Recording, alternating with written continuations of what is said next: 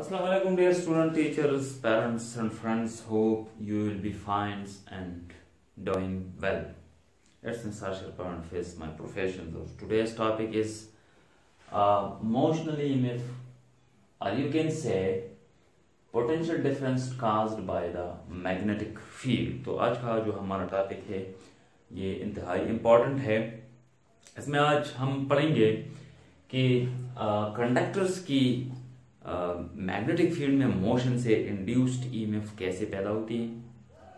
Clear है बात? ये किन किन बातों पर डिपेंड करता है? तो हम कंसिडर करेंगे एक मैग्नेटिक फ़ील्ड जो कि यूनिफॉर्म मैग्नेटिक फ़ील्ड है। क्योंकि वजह क्या है यूनिफॉर्म मैग्नेटिक फ़ील्ड का? क्योंकि हमने कंडक्टर को मोशन देना है। तो चेंज इन मैग्नेटिक फ़ील्ड की ज़रूरत नहीं है। वेरिएबल मैग्नेटिक फ़ील्ड की ज़रूरत नहीं है चेंजिंग फ्लक्स की ज़रूरत नहीं है इसमें। ठीक है? इसमें ज़रूरत है जो कंडक्टर को हमने मोशन देना है। मोशनल ईएमएफ और मोशनल ईएमएफ का जो है वो दो तरीके होते हैं। एक ट्रांसलेशनल मोशन के ज़रिए होता है, एक रोटेशनल मोशन की। तो पहले हम बात करेंगे ट्रांसलेशनल मोशन की। क्लियर तो हम कंसिडर करते हैं सपोज़ हमारे पास एक मैग्नेटिक फ़ील्ड है जो कि एंड टू द बोर्ड है। इस तरह ये एक मैग्नेटिक फ़ील्ड है। And to the board clear हम एक कंडक्टर लेते हैं। ये हम एक कंडक्टर लेते हैं। इधर हमारे पास एक कंडक्टर है, जिसको हमने मूव किया। इस कंडक्टर की जो लंबाई है, वो हमारे पास एल है। ये इसकी लंबाई है। ठीक है? इस पे हमने फोर्स यूज़ किया और इसको हमने मूव किया थ्रो ए डिस्टेंस एस ले ले या एक्स ले ले। ठीक है? यहाँ से यहाँ तक हमने मूव किया। आ, इस पे जो फोर्स अप्लाई हुई वो एक्सटर्नल फोर्स है अप्लाइड फोर्स है। ठीक है? तो क्लियर बात है कंडक्टर है तो इसमें फ्री इलेक्ट्रॉन्स होगी इसमें चार्जेस होंगे। तो वही फ्री इलेक्ट्रॉन जो उनके मोशन में है राइट साइड की तरफ़ एक वेलोसिटी के साथ ये एक वेलासिटी v के साथ जा रहा है और ये वेलासिटी जो है it is dependent upon the applied force ये अप्लाइड फोर्स पे डिपेंड जितना अप्लाइड फोर्स ज़्यादा होगा, इतने ही ज़्यादा स्पीड अप हो जाएगा। तो ये सारा कंडक्टर चूँकि वेलासिटी v के साथ जा रहा है तो इसमें इसके अंदर जो चार्जेस है, वो भी वही वेलासिटी है इन चार्जेस की। तो इट इज़ क्लियर कि जब भी एक चार्ज जो है, वो मैग्नेटिक फ़ील्ड में परपेंडिकुलरली मोशन कर रहा हो, किसी खास वेलासिटी के साथ तो उस पर एक मैग्नेटिक फोर्स होता है। सपोज़ मैं एक, इधर एक चार्ज कंसीडर कर लेता हूँ। ये हमारे पास एक चार्ज है। क्लियर तो क्योंकि इस डायरेक्शन में मोशन में है तो फ्लेमिंग लेफ़्ट हैंड रूल के मुताबिक जो है ये चार्ज इसी डायरेक्शन में मोशन कर रहा है, ठीक है? मैग्नेटिक फ़ील्ड जो है, वो एंड टू द बोर्ड है तो मैग्नेटिक फोर्स अपवर्ड होगा। क्लियर तो इस पे एक अपवर्ड फोर्स होगा। इसी फोर्स की वजह से ये होगा मैग्नेटिक फोर्स क्लियर तो ये चार्ज ऊपर की तरफ़ चलने लगेगा। ठीक है? इस तरह हज़ारों मिलियंस चार्जेस हैं। तो ये सारे चार्जेस जो है, जितनी भी पॉजिटिव चार्जेस है, ये यहाँ पे कलेक्ट हो जाएँगे, यहाँ पे। ये सारे चार्जेस इधर कलेक्ट हो जाएँगे। तो इसके जवाब में जो है नेगेटिव चार्जेस यहाँ पे कलेक्ट हो जाएगी। क्लियर अच्छा जी। तो देखिए, यहाँ पे एक पॉजिटिव पोटेंशियल क्रिएट होगी वी पॉजिटिव इसको हम कैपिटल लिखेंगे। यहाँ पे एक नेगेटिव पोटेंशियल क्रिएट होगी। मतलब इस इंड और इस इंड पी इंड और क्यू इंड इस पे जो है potential difference between these two points potential difference create होगी। ठीक है? पोटें इस पोटेंशियल डिफरेंस को हम इंड्यूस्ड ईएमएफ का नाम देते हैं। क्योंकि ये इंडक्शन की वजह से हुई क्लियर हुई बात? इंडक्शन की वजह अब देखिए क्योंकि पोटेंशियल डिफरेंस क्रिएट हुई तो इस पॉइंट और इस पॉइंट के बीच में एक इलेक्ट्रोस्टैटिक इलेक्ट्रिक फ़ील्ड पैदा हो जाती है। और वो इलेक्ट्रोस्टैटिक फ़ील्ड जो है, वो इसी डायरेक्शन में होगी। देखिए, ये इसी डायरेक्शन में है। ये इसी डायरेक्शन में है। इलेक्ट्रोस्टैटिक फ़ील्ड डाउन क्लियर तो इसी फ़ील्ड की वजह, अब अगर हम मजीद चार्जेस की मोशन की बात करें, या फिर सपोज़ हमारे पास चूँकि इलेक्ट्रिक फ़ील्ड जो है हमारे पास इलेक्ट्रिक फ़ील्ड जो है वो हमारे पास इसी डायरेक्शन में है? ये इलेक्ट्रिक फ़ील्ड है क्लियर यहाँ पे अगर हम मजीद चार्जेस की मोशन की बात करें तो इस चार्ज पे दो फोर्सेस होंगे। एक जो है इस पे अपवर्ड फोर्स है, वो है मैग्नेटिक फोर्स और डाउनवर्ड जो फोर्स है, वो इलेक्ट्रिक फ़ील्ड इंटेंसिटी की वजह से है, और वो होगी F electric coulomb force clear तो एक टाइम ऐसा आ जाएगा कि हम इसको आ, अगर मजीद एक्सेलरेट कर दें स्पीड अप कर दें तो क्लियर बात है कि ये जो मैग्नेटिक फोर्स है magnetic force is equal to q v B है हमारे पास? ये मैग्नेटिक फोर्स है। और ये वेलासिटी डिपेंडेंट है। ये देखिए ये वेलासिटी डिपेंडेंट है। क्यों हो मैग्नेटिक फ़ील्ड भी हो, लेकिन अगर वेलासिटी ना हो मोशन ना हो तो ये फोर्स नहीं होगा चार्ज भी। क्लियर हुई बात? तो मतलब ये वेलासिटी डिपेंडेंट फोर्स है। तो इसके साथ अगर आप मोशन को ज़्यादा कर दें वेलासिटी को इंक्रीज कर दें, ये फोर्स तो इंक्रीज हो जाएगी। लेकिन इसके साथ ही यहाँ पे पोटेंशियल डिफरेंस बढ़ेगी, और जब पोटेंशियल डिफरेंस बढ़ेगी तो डाउनवर्ड जो इलेक्ट्रिक फ़ील्ड इंटेंसिटी उसकी वैल्यू भी बढ़ जाएगी। तो stronger the electric field will exert a stronger force, stronger electric force in the downward direction. नीचे की तरफ़ इलेक्ट्रिक फोर्स भी स्ट्रांग हो जाएगी। तो एक इक्विलिब्रियम एस्टेब्लिश होगा ऐसे इक्विलिब्रियम जिसमें मैग्नेटिक फोर्स और इलेक्ट्रिक इलेक्ट्रिक फोर्स ये बैलेंस हो जाएँगे। क्लियर हुई बात? तो in case of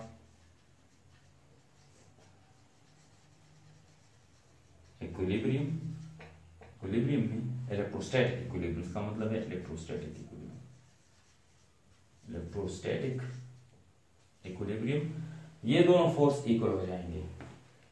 मतलब electric field electric force is equal to magnetic force clear electric field है फोर्स है हमारे पास क्यों? ई e. और ये है क्यों? वी बी क्यों? क्यों के साथ कैंसिल इलेक्ट्रिक फ़ील्ड इंटेंसिटी जो है वो हमारे पास ये है। और इस केस में अगर आप देखें इलेक्ट्रिक फ़ील्ड इंटेंसिटी यहाँ पे आ, किस बात पर डिपेंड कर रही है? दो बातों पर डिपेंड कर रही है। एक तो डिपेंड कर रही है वेलासिटी पे। तो electric field intensity in this case वो भी वेलासिटी डिपेंडेंट है। क्लियर हुई बात? वेलासिटी डिपेंडेंट और दूसरी बात जो है इलेक्ट्रिक फ़ील्ड इंटेंसिटी वो मैग्नेटिक फ़ील्ड पे डिपेंड कर रही है।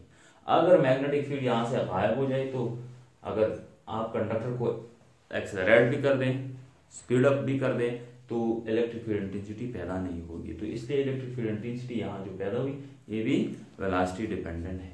क्लियर है बात? और ये एक इलेक्ट्रोस्टैटिक इलेक्ट्रिक फ़ील्ड है, ये इंड्यूस्ड इलेक्ट्रिक फ़ील्ड नहीं है। तो इसलिए but we know that E is a given as किस तरह हम इसको लिख सकते हैं? Electric field intensity is equal to potential gradient potential gradient का मतलब है कि यहाँ से यहाँ तक जो पोटेंशियल में डिफरेंस वाक़ होती है लेंथ के साथ वो हमेशा के लिए किस बात की इक्वल होगी? इलेक्ट्रिक फ़ील्ड इंटेंसिटी की जो कि हम आ, ये ऑलरेडी कर चुके हैं। Delta V divided by delta r ये डेल्टा आर हमारे पास ये डिस्टेंस है जो कि एल के बराबर है। और ये जो है, ये हमारे पास इंड्यूस्ड ईएमएफ है। यानी यहाँ पे जो वोल्टेज पैदा हुई, जो पोटेंशियल डिफरेंस ये इंड्यूस्ड ईएमएफ है। तो ये है induced EMF divided by L clear हुई बात? अच्छा इसको हम इस तरह भी लिख सकते हैं। Induced EMF is equal to E into L ये हमारे पास इक्वेशन टू और ये है इक्वेशन वन तो ये वाला इक्वेशन वन इक्वेशन टू में पुट कर दें put one and two one को टू में पुट कर दें electric field intensity sorry induced EMF is equal to v B L दो बातों पर डिपेंड और इसका मिसाल ऐसा है जैसे कि हमने यहाँ पे एक्सेल यूज़ किया बैटरी सेल ठीक है? तो यहाँ पे जो पोटेंशियल डिफरेंस जो ईएमएफ पैदा हुई, वो तीन बातों पर डिपेंड कर रहे हैं। नंबर वन है वेलासिटी डिपेंडेंट तो ये वोल्टेज जो है, ये पोटेंशियल डिफरेंस या इंड्यूस्ड ईएमएफ ये वेलासिटी डिपेंडेंट है। और वेलासिटी किस बात में होती है? मोशन में होती है। तो इसलिए इसको मोशनल ईएमएफ कहा जाता है। क्लियर दूसरी बात मैग्नेटिक फ़ील्ड पे डिपेंड करती है। तीसरी बात है ये लेंथ ऑफ़ द कंडक्टर पे डिपेंड कर। जितना इसका लेंथ ज़्यादा उतना ही उतना ही याद रखिएगा इंड्यूस्ड ईएमएफ ज़्यादा हुई अब देखो जी, अगर इस पी इस कंडक्टर के दोनों एंड्स को अगर हम किसी एक्सटर्नल सर्किट में जोड़ दें कनेक्ट कर दें सपोज़ पी और क्यू को मैं जोड़ देता हूँ इधर।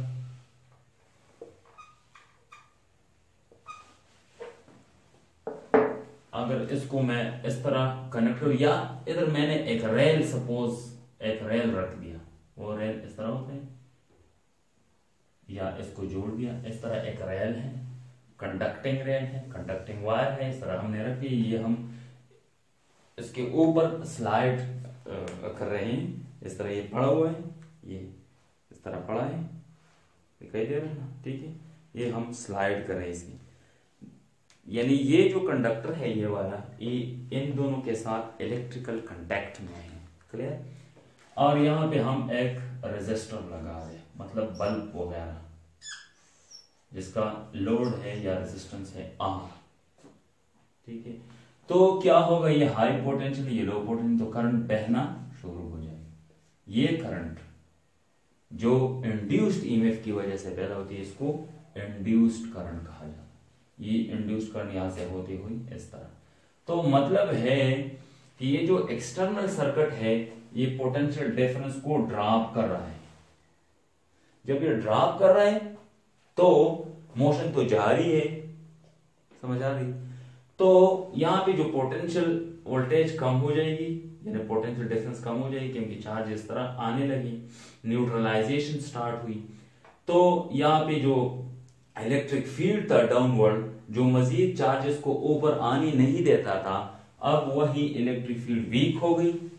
जब ये वीक हो गई तो मैग्नेटिक फोर्स ये वाला फोर्स ये स्ट्रांग हो जाएगा। जब स्ट्रांग हो जाएगा तो क्या होगा? मजीद चार्जेस ऊपर जाने लगेंगे। तो याद रखिए, इसका बिल्कुल वही एग्जांपल है जो एक बैटरी का होता है, जो सौ साथी में, ये भी एक सौ साथी में है ठीक है? यहाँ पे वोल्टेज ड्रॉप हो रही तो ये मोशन जो है मैग्नेटिक फ़ील्ड में ये वोल्टेज को ड्रॉप होने नहीं देता। ठीक है? तो करंट जो गुजरता है, याद रखिएगा, ये induced current in this case in this case induced current is equal to induced EMF divided by total resistance total resistance अब क्या है? ये तो ऑलरेडी रेजिस्टर है, इसका लोड ही है। इस वायर का, इस रेल का हम रेजिस्टेंस कंसीडर नहीं करते। कंसीडर वी हम सपोज़ कर लेते कि ये रेजिस्टेंस लेस है। हालाँकि प्रैक्टिकली है नहीं। इस कंडक्टर का भी एक रेजिस्टेंस है, वो रेजिस्टेंस हम स्मॉल आर से रिप्रेजेंट करते हैं, जो कि इसी कंडक्टर का इंटरनल रेजिस्टेंस जिस तरह के बैटरी में होता है इंटरनल रेजिस्टेंस क्लियर हुई बात? तो इसमें वैल्यू पुट कर रहे हैं। इंड्यूस्ड करंट जो है, वो ये वाला वैल्यू यहाँ पे पुट करें v B L divided by R plus r ये हमारे पास इंड्यूस्ड करंट है। क्लियर हुई बात? ये इंड्यूस्ड करंट अब देखो, जो ही करंट स्टार्ट हुई, एक और फेनामिना भी पैदा होती है कि ये जो करंट यहाँ से गुजरता है, इस तरह गुजरने लगता है।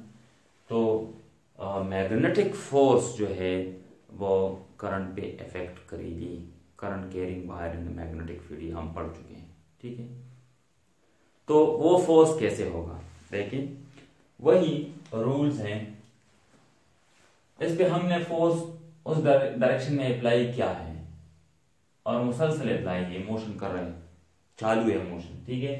तो करंट ऊपर की डायरेक्शन में जा रही है तो ये वाला उंगली करंट की डायरेक्शन में। ये वाला उंगली जो है, ये मैग्नेटिक फ़ील्ड के डायरेक्शन में और मैग्नेटिक फोर्स इसी डायरेक्शन में। ठीक है? इसी डायरेक्शन तो जो ही हम इसको आगे मोशन देंगे तो इस पे एक और फोर्स पैदा होगा।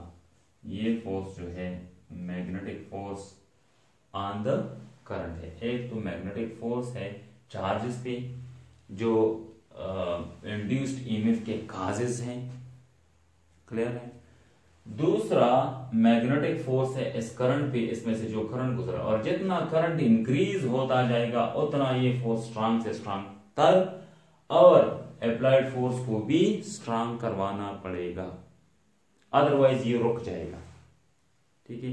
तो जितना करंट ड्रा करेगा यहाँ पे रेजिस्टर ठीक है? तो उतना ही करंट ज़्यादा हो, जब करंट ज़्यादा होगा तो ये वाला फोर्स हम किस तरह लिखते हैं? देखिए magnetic force on a current carrying wire is equal to I L B.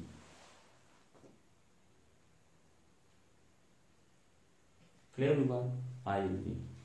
Where I is the current मतलब है magnetic force proportional to the current जितना ज़्यादा करंट ड्रा करेगा ये रेजिस्टर उतना ही इस पे मैग्नेटिक फोर्स इसी डायरेक्शन में ज़्यादा होगी ठीक है लेंथ पे भी डिपेंड करके कितना लेंथ है इसका? मैग्नेटिक फ़ील्ड में जो लेंथ इंसर्ट है, ये इसका लेंथ कितना है? भी मैग्नेटिक फ़ील्ड फ़ील्ड स्ट्रेंथ पे डिपेंड करता है, ठीक है? अगर हम इस तरह कर दें, इस करंट को हम इंक्रीज कैसे करेंगे? हम ज़्यादा से ज़्यादा करंट यहाँ से ले। लें तो याद रखिएगा, इसके साथ एक और रेजिस्टर सीरीज़ पैरल में लगा लें तो जब हम पैरल में लगाते हैं, इसके साथ पैरल में लगा लें एक और भी इधर पैरल में लगा। जितनी भी याद रखिएगा, ये भी आ रहा है, ये भी आ रहा है, ये भी आ रहा है। तो इनका जो इक्विवेलेंट रेजिस्टेंस है, इसका आर इक्विवेलेंट वो किस चीज़ के बराबर होंगे? One over R equivalent is equal to one over R plus one over R plus one over R तो आर इक्विवेलेंट जो है, वो इक्वल होगा आर डिवाइड बाई थ्री इसका एलसीएम ले ले डिवाइड करें। तो मतलब एक्सटर्नल रेजिस्टेंस जब कम होगी पैरल में जब हम लगाते हैं तो टोटल रेजिस्टेंस कम हो जाता है। जब टोटल रेजिस्टेंस कम हो जाता है तो करंट ज़्यादा विदड्रॉ होगी। तो मतलब ये सर्किट ज़्यादा करंट ड्रा करेगा। जितना ज़्यादा करंट ड्रा करेगा तो करंट के इंक्रीज होने से मैग्नेटिक फोर्स इंक्रीज हो जाएगी। क्लियर हुई बात? तो अब ये ये हमारे पास एक सेल के मानंद है। एक बैटरी की मानंद है क्लियर तो आ, ये कितना पावर जो है यहाँ पे डिलीवर करेगा? कितना पावर डिलीवर करता है? तो याद रखो कि पावर डिलीवर करने के लिए आप इसका स्क्रीनशॉट ले लें जरा।